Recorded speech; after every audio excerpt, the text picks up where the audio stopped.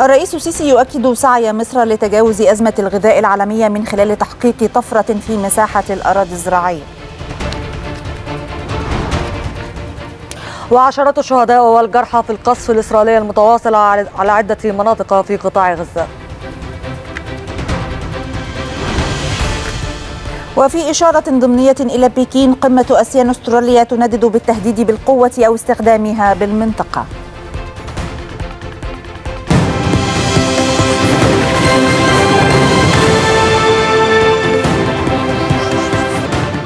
السادس صباحا الرابع بتوقيت جرينتش نشرة إخبارية تأتيكم من القاهرة. أهلا بكم. والبداية مع الزميلة جاكلين ماهر. صباح الخير. صباح الخير يا دينا وصباح الخير مشاهدينا الكرام والبداية. أكد الرئيس عبد الفتاح السيسي سعي مصر لتجاوز أزمة الغذاء العالمية بشكل جذري من خلال تحقيق طفرة في مساحة الأراضي الزراعية. وخلال استقباله مدير عام منظمة الأغذية والزراعة للأمم المتحدة الفاو أشار الرئيس السيسي إلى المشروعات الزراعية الضخمة التي تنفذها الدولة لتحقيق هذا الهدف. وشهد اللقاء تباحثا معمقا بشأن الأوضاع الإنسانية الكارثية في قطاع غزة وجهود مصر المكثفة لإدخال المساعدات برا وجوا لإغاثة أهالي القطاع. استقبل السيد الرئيس عبد الفتاح السيسي السيد شادانيو مدير عام منظمة الأغذية والزراعة للأمم المتحدة الفاو والوفد المرافق له. بحضور السيد السيد القصير وزير الزراعة واستصلاح الأراضي صرح المتحدث الرسمي باسم رئاسة الجمهورية المستشار الدكتور أحمد فهمي. أن اللقاء شهد تأكيد الاعتزاز المتبادل بالشراكة طويلة الأمد بين مصر والفاو والتي تنعكس في مشروعات التنمية المتعددة في مجالي الزراعة والغذاء.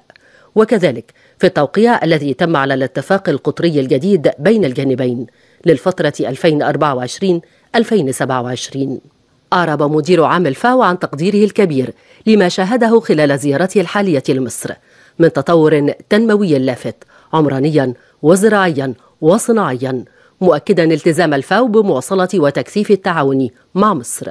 وقد شهد اللقاء التباحث بشأن أزمة الغذاء العالمية وبالأخص ما يتعلق بتداعيات الأزمة الروسية الأوكرانية على مصر كونها أحد أكبر مستوردي الحبوب في العالم. حيث أوضح السيد الرئيس سعي مصر لتجاوز هذا التحدي بشكل جذري من خلال تحقيق طفرة في مساحة الأراضي الزراعية وكذلك من حيث التوسع الرأسي عن طريق التركيز على البحث العلمي والتكنولوجي لتحسين الإنتاجية منوها في هذا الإطار إلى المشروعات الزراعية الضخمة التي تنفذها الدولة لتحقيق هذا الهدف والتي أثمرت عن بدء إنتاج مئات الآلاف من الفدادين الجديدة بما سيصل إلى أربعة ملايين فدا تدخل جميعها الخدمة خلال العامين الجاري والقادم. وقد أوضح مدير الفاو متابعته والمنظمة بشكل وثيق للتجربة المصرية في التنمية الزراعية بما تم منها وما يجري تنفيذه مؤكدا حرصه على تعميق التعاون القائم بين مصر والمنظمة في هذا الصدد بما يدعم مصر في تحقيق أهدافها الطموحة لتحسين الأمن الغذائي للشعب المصري. ذكر المتحدث الرسمي أن اللقاء شهد تباحثا معمقا بشأن الأوضاع في قطاع غزة. حيث تم تناول الأوضاع الإنسانية الكارثية التي تصل إلى حد المجاعة في القطاع وجهود مصر المكثفة لإدخال المساعدات برا وجوا لإغاثة أهالي غزة. أعرب مدير الفاو في هذا الإطار عن بالغ التقدير للدور المصري التاريخي الذي يتسم بأعلى درجات المسؤولية والتجرد. مستعرضا جهود الفاو في هذا الإطار ومؤكدا الحرص على تقديم كافة سبل الدعم للجهود المصرية لإنفاذ المساعدات الإنسانية لأهالي القطاع. وفي نهاية اللقاء سلم مدير عام منظمة الفاو هدية تذكارية للسيد الرئيس تقديرا لما يتحقق في مصر من تنمية شاملة ومتسارعة في مختلف المجالات. أكد رئيس مجلس الوزراء دكتور مصطفى مدبولي حرص الدولة على تذليل التحديات أمام الشركات الإيطالية الراغبة في الاستثمار بمصر في القطاعات المستهدفة وفق أولويات الحكومة المصرية لجذب الاستثمارات الأجنبية المباشرة والاستفادة من الفرص الواعدة والحوافز التي يتم توفيرها للمستثمرين. وخلال اجتماعه مع السفير الإيطالي بالقاهرة أكد مدبولي اعتزاز مصر بعمق العلاقات التاريخية التي تربطها بدولة إيطاليا والحرص على تعزيزها لدعم المصالح المشتركة بين البلدين. معربا عن التطلع لاستقبال رئيسة وزراء إيطاليا بالقاهرة في أقرب فرصة. من جانبه أشاد السفير الإيطالي بالجهود المصرية لجذب الاستثمارات الأجنبية المباشرة وآخرها النجاح في عقد صفقة تطوير وتنمية مدينة رأس الحكمة مؤكدا أنها تمثل بادرة إيجابية لتجاوز التحديات الاقتصادية الراهنة. شهد الدولار في السوق الموازية تراجعا جديدا إذ انخفض سعره ليهبط إلى حدود 40 جنيها. وتوقع مصرفيون أن تشهد السوق الموازية للدولار مزيدا من التراجع والانهيار بفعل التخلص من العملة بعد خسائر كبيرة. جاء ذلك بعد كشف الحكومة عن تفاصيل مشروع وتطوير وتنمية رأس الحكمة.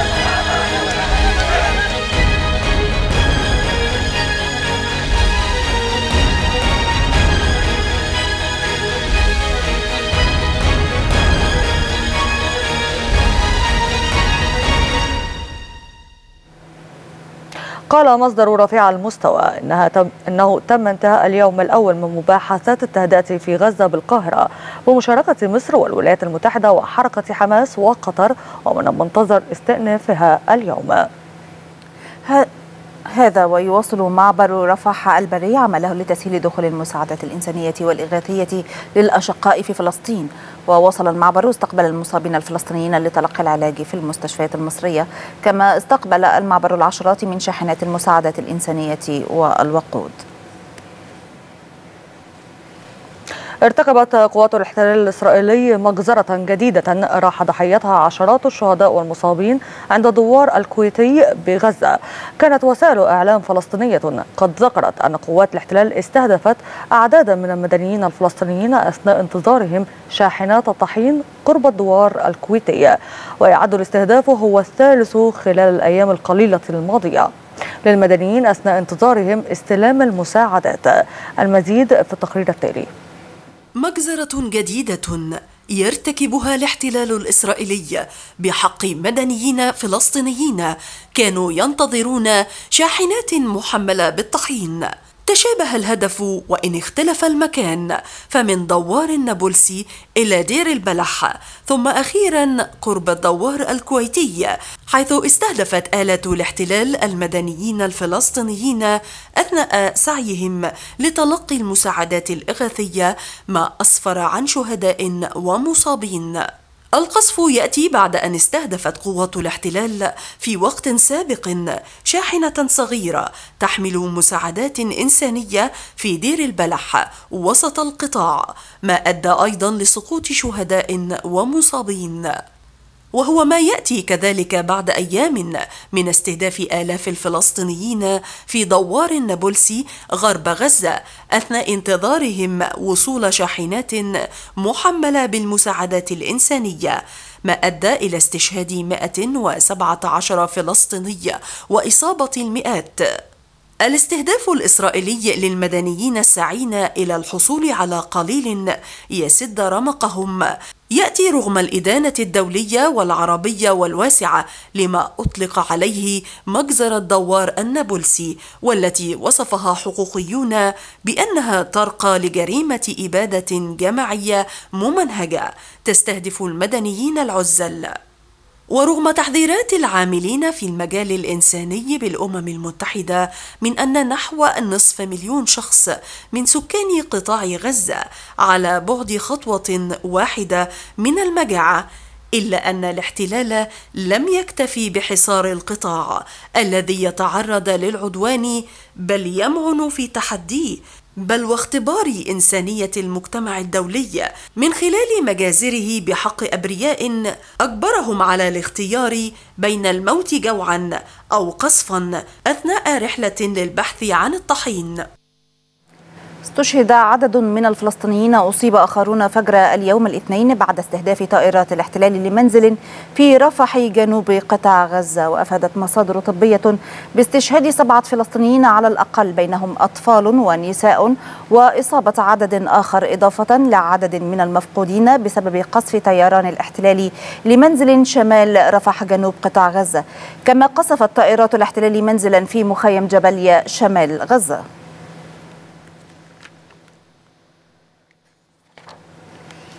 قال مقرر الأمم المتحدة الخاص المعني بالحق في الغذاء مايكل فخري. إن السبيل الوحيد لوقف إطلاق النار بقطاع غزة هو فرض عقوبات على إسرائيل. وأوضح المقرر الأممي أن إسرائيل تعمدت تجويع الشعب الفلسطيني في قطاع غزة مرجحا أن تكون المجاعة قد بدأت بالفعل مشددا على أن الطريقة الوحيدة لمنع المجاعة في قطاع غزة هي الوقف الفوري لإطلاق النار.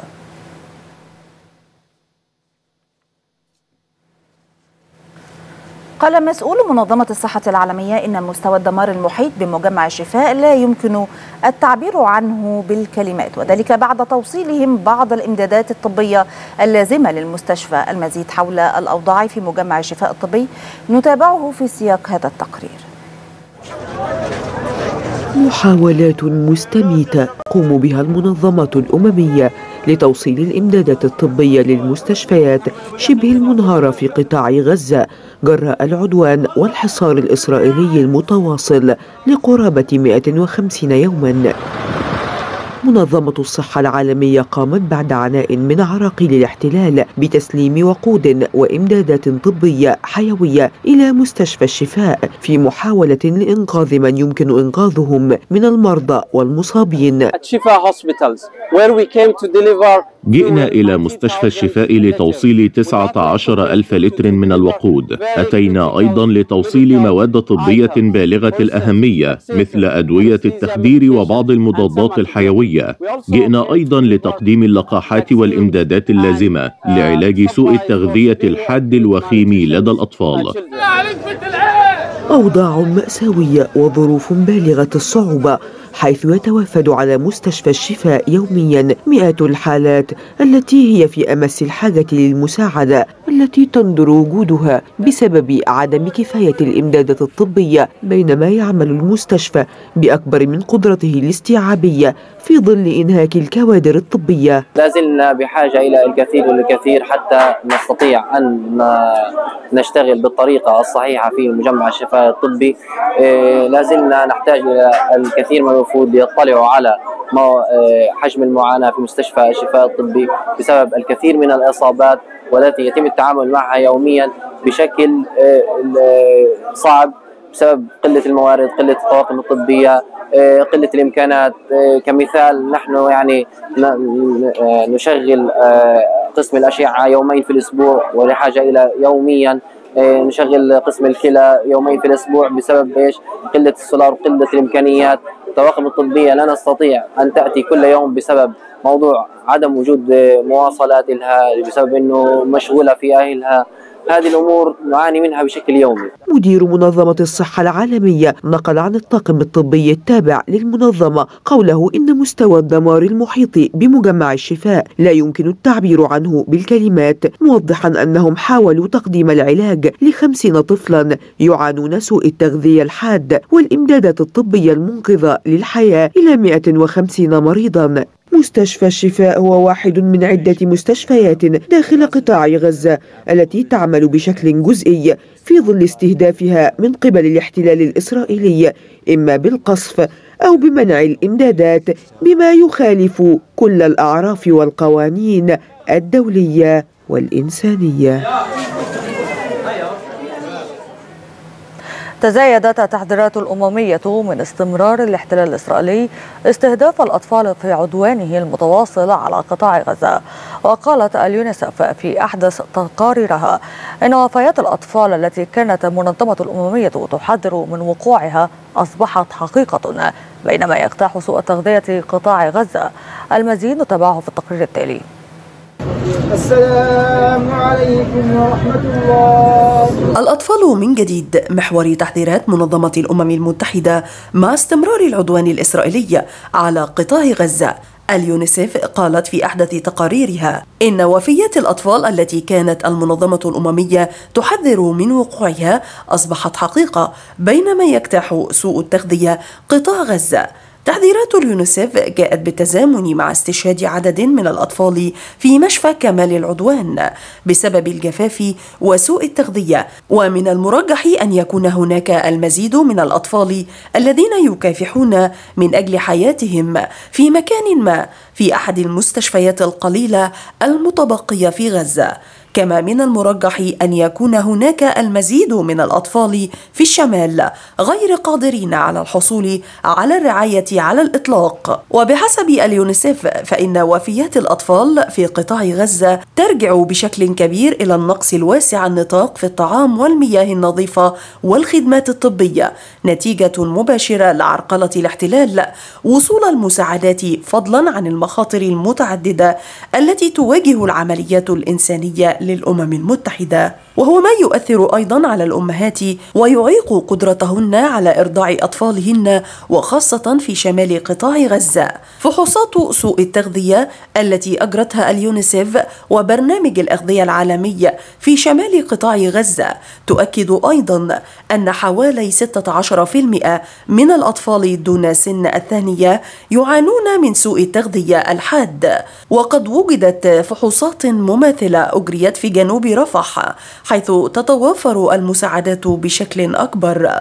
أن 5% من الأطفال دون سن الثانية يعانون من سوء التغذية الحاد. وفي ظل هذا الوضع لا تزال منظمة الأمم المتحدة تطالب بتمكين وكالات الإغاثة الإنسانية من التغلب على الأزمة الإنسانية ومنع المجاعة وإنقاذ حياة الأطفال. من خلال توفير نقاط دخول متعددة يمكن الاعتماد عليها لتسمح بإدخال المساعدات وضمانات أمنية تضمن مرور المساعدات دون عراقيل الاحتلال الإسرائيلي.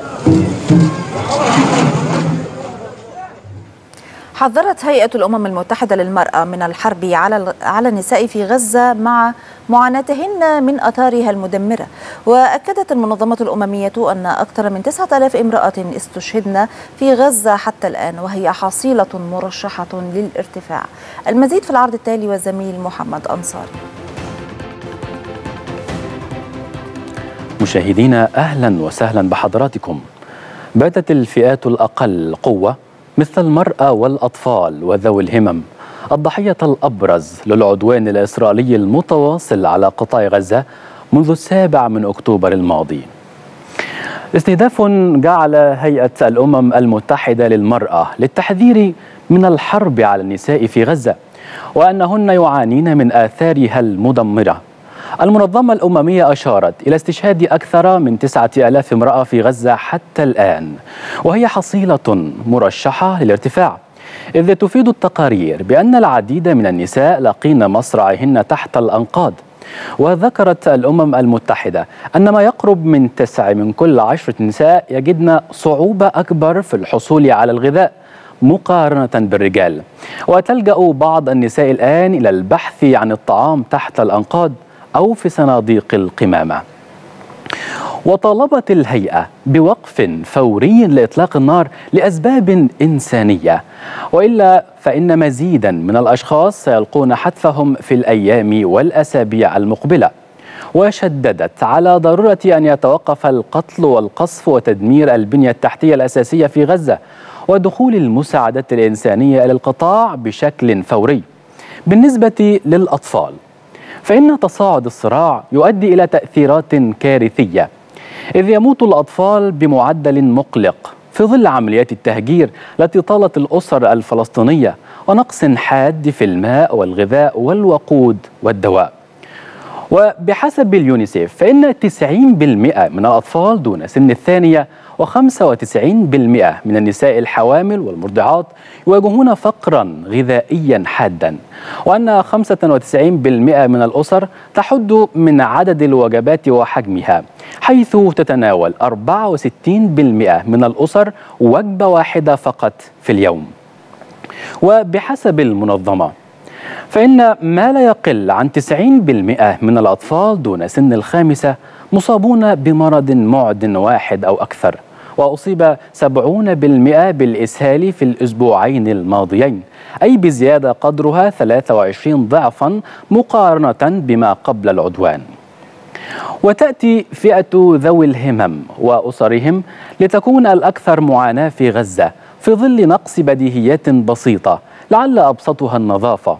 فلا نظافة في خيمة النزوح ولا طعام جيد لطفل يحتاج لخضار وفواكه وبروتينات حيوانية وهي أشياء غير متوفرة. حفاضات الأطفال. مشكلة كبيرة أخرى يواجهها ذوي الهمم. فالطفل بحاجة لغيار وتنظيف بمعدل أربع مرات.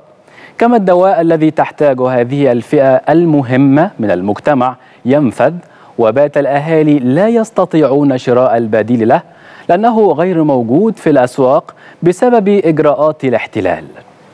مشاهدينا كان هذا عرضا موجزا بشأن المعاناة التي يعيش فيها النساء والأطفال وذوي الهمم بغزة مع استمرار العدوان الإسرائيلي. نشكر لحضراتكم طيب المتابعة.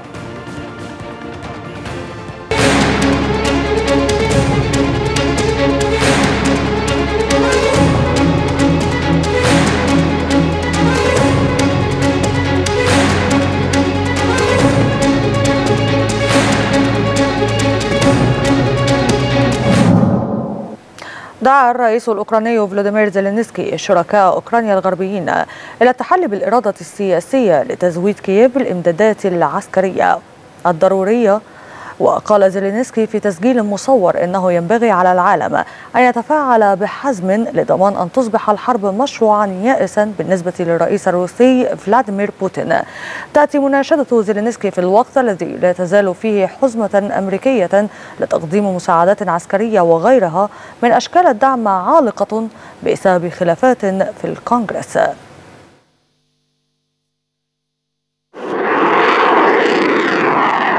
مع دخول الحرب الروسية الأوكرانية عامها الثالث حققت القوات الروسية تقدما ميدانيا كبيرا خلال الأيام الماضية خاصة في شرق أوكرانيا في الوقت الذي تواصل فيه كييف السعي بقوة للحصول على مزيد من المساعدات والأسلحة الغربية من حلفائها. وفي أحدث فصول تلك الحرب دعا الرئيس الأوكراني فلاديمير زيلينسكي العالم إلى مساعدة كييف على هزيمة روسيا وذلك بعد ساعات من مناشداته لحلفائه الغربيين بتزويد بلاده بمزيد من أنظمة الدفاع الجوي مع استمرار روسيا في قصف بلاده بالمسيرات والصواريخ وبنيران المدفعية في السنة الثالثة للحرب. وتتخذ أوكرانيا موقفا دفاعيا في المعارك بعدما حققت روسيا مكاسب على الخطوط الأمامية مؤخرا إلا أن الهجمات الروسية الأخيرة عليها أظهرت أصواتا في الغرب تدعو لأهمية دعم أوكرانيا التي تواجه نقصا في الذخيرة تفاقم في ظل تأخير الولايات المتحدة في تسليم حزمة مساعدات بقيمة 60 مليار دولار. هذا في الوقت الذي تشكو فيه روسيا من تزايد الهجمات الأوكرانية على أراضيها خاصة مع إعلان كييف مسؤوليتها عن تلك الهجمات التي استهدفت العديد من منشآت النفط الروسية في الأشهر الأخيرة.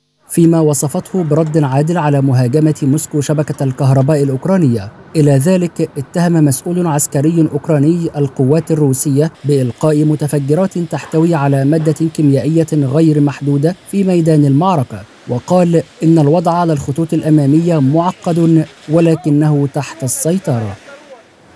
حقق الرئيس الأمريكي السابق دونالد ترامب فوزا كبيرا في الانتخابات التمهيدية للحزب الجمهوري في ميشيغان وميزوري وأيداهو متغلبا على منافسته نيكي هيلي مما يضعه على المسار الصحيح للفوز بترشيح الحزب للانتخابات الرئاسية الأمريكية المقبلة. في خطوة تقربه نحو نيل ترشيح الحزب الجمهوري للانتخابات الرئاسية الأمريكية فاز دونالد ترامب بالانتخابات الداخلية للحزب في ولايات ميسوري وميتشيغان وأيداهو وهزم منافسته الوحيدة السفيرة السابقة بالأمم المتحدة نيكي هيلي. ترامب حقق فوزا ساحقا في السباقات الثلاثة بهامش كبير بعد أن نال أصوات جميع المندوبين الأربعة والخمسين في ميسوري. وفي ميتشيغان فاز ترامب بأصوات جميع المندوبين التسعة والثلاثين الذين حصلوا على أصوات نحو ألفي مقترع خلال مجلس انتخابي. في ولاية أيداهو اكتسح ترامب أيضا بعد أن حصل على أصوات مندوبي جميع المندوبين الاثنين والثلاثين انتصارات جعلت ترامب أقرب إلى ضمان ترشيح الحزب الجمهوري لانتخابات عام 2024 حيث أصبح لديه الآن 247 مندوبا مقارنة ب 24 مندوبا لنيكي هيلي. وفاز ترامب في كل الانتخابات التمهيدية التي أجريت حتى الآن. وتأتي انتصاراته الجديدة في الولايات الثلاث قبيل الثلاثاء الكبير الذي يشهد انتخابات تمهيدية في 15 ولاية.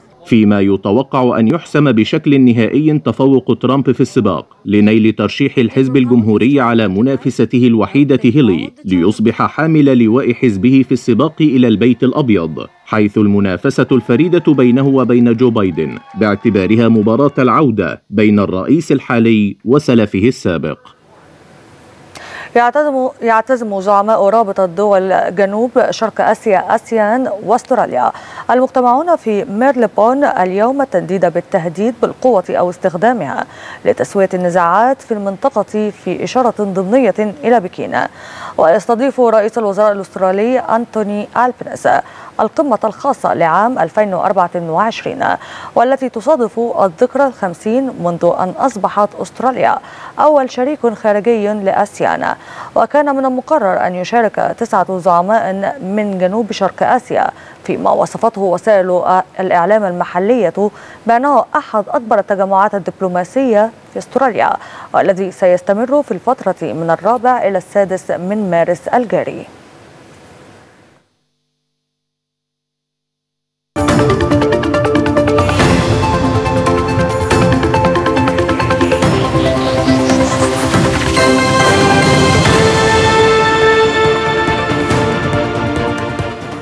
ورياضيا. يحل فريق أرسنال ضيفا ثقيلا على نظيره شيفيلد يونايتد اليوم في ختام مباريات الجولة السابعة والعشرين من مسابقة الدوري الإنجليزي الممتاز لكرة القدم. ويسعى أرسنال لمواصلة انتصاراته في بطولة الدوري الإنجليزي من أجل مواصلة الزحف خلف ليفربول المتصدر ومانشستر سيتي صاحب المركز الثاني. كان أرسنال حقق فوزا عريضا على نظيره نيوكاسل يونايتد برباعية مقابل هدف في الجولة الماضية من البطولة. يستضيف بايرن ميونخ نظيره لاتسيو الإيطالي غدا الثلاثاء على ملعب أليانز أرينا. لحساب لقاءات الإياب للدور الثمن النهائي من بطولة دوري أبطال أوروبا. ويسعى بايرن ميونخ بقيادة مديره الفني توماس تيوخيل للفوز والثأر لخسارة مباراة الذهاب. من أجل خطف تذكرة العبور إلى ربع نهائي بطولة دوري أبطال أوروبا. أما لاتسيو الإيطالي يرغب في الحفاظ على الفوز الذي حققه في مباراة الذهاب ويريد تحقيق مفاجأة الإطاحة ببايرن ميونخ أحد المرشحين لحصد اللقب من ضمن نهائي البطولة. هذا ويحل باريس سان جيرمان ضيفا على فريق ريال سوسيداد في المواجهة صعبة غدا في إياب دور الستة عشر بدوري أبطال أوروبا وحقق سان جيرمان الفوز في الذهاب على ملعب حديقة الأمراء بنتيجة اثنين مقابل لا شيء وتأهل الفريق الباريسي إلى ثمن النهائي كوصيف للمجموعة السادسة برصيد ثمانية نقاط خلف بوروسيا دورتموند بينما تصدر سوسيداد المجموعة الرابعة برصيد 12 نقطة وبفارق الأهداف عن إنتر ميلان.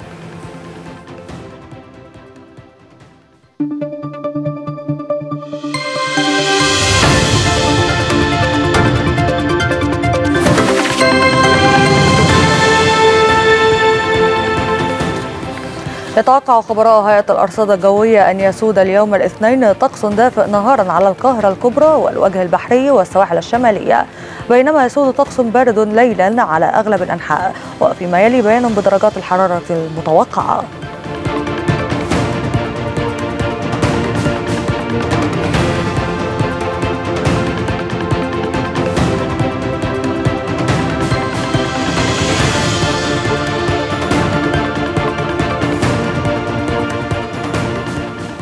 ختام النشرة وإليكم تذكرة بأبرز ما جاء من عناوين.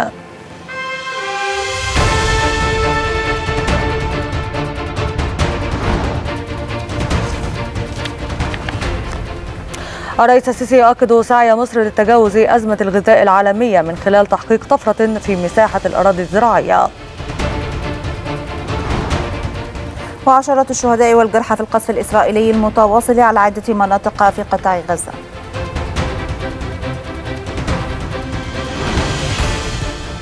وفي إشارة ضمنية إلى بكين قمة أسيان أستراليا تندد بالتهديد بالقوة أو استخدامها بالمنطقة. مشاهدينا لمزيد من الأخبار يمكنكم تحميل تطبيق إكسترا نيوز من خلال App Store أو Google Play أو من خلال ال QR code الظاهر على الشاشة. شكرا على طيب المتابعة تقبلوا تحية الزميلة دينا سلامة وأنا جاكلين ماهر. إلى اللقاء بإذن الله.